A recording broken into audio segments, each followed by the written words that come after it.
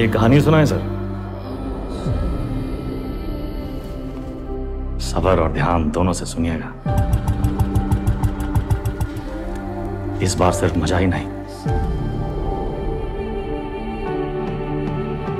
ताज्जुब भी होगा।